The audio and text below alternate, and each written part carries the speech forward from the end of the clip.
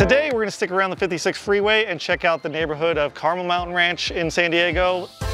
This area is right along the 15 meets the 56, so it's very central to all of San Diego has to offer. It's got a lot of shopping in the area, good restaurants, some nice parks, and we're gonna take a tour of it and see what it's all about.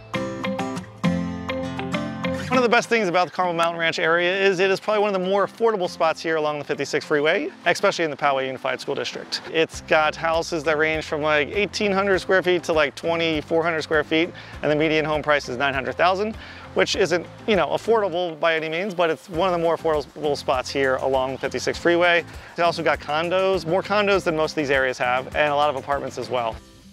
So now we are at the Carmel Mountain Rec Center. Pretty much every neighborhood, especially around the 56 freeway, has a uh, some sort of rec center, and Carmel Mountain Ranch is no different. This is where the kids will do all their sporting events. They got basketball courts here.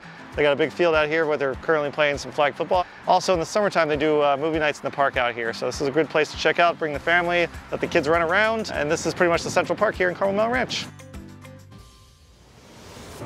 Next stop on our tour here in Carmel Mountain Ranch, the Carmel Mountain Ranch Shopping Center. This is kind of right at the corner of the 56 and the 15 freeway. It's home to all your big box stores like your Best Buys, your Costco's, we got Dick's Sporting Goods here. So anything you guys need to, to buy for your house, this is pretty much the spot to go. They have an at-home furniture store here and obviously the Costco down the road that has all your toilet paper and paper towels that you could use. There's also a lot of chain food restaurants here. So this is where you go to In-N-Out Burger, which pretty much always has a long line here. Then my kids spend a lot of time at this uh, yogurt shop right over here, Tutti Frutti frozen yogurt. Another great spot that we liked coming here for is the Angelika movie theater in here. It's one of those dine-in movie theaters with reclining seats. They also serve uh, alcoholic beverages, but they are quite expensive. If you want a beer there, it costs about $10 a beer. Just sneak in your beer or your alcoholic beverages and you will be much more happy by the end of the movie. Carmel Mountain Ranch has a lot of good restaurants, especially for coffee, Mostra Coffee.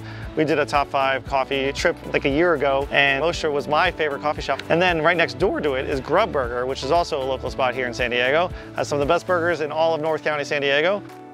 So we're at the last stop on our tour of Carmel Mountain Ranch, which is the only brewery located along the 56 freeway. It's Second Chance Brewing in Carmel Mountain Ranch. We've actually done a video on this one as well, so you can check it out up here.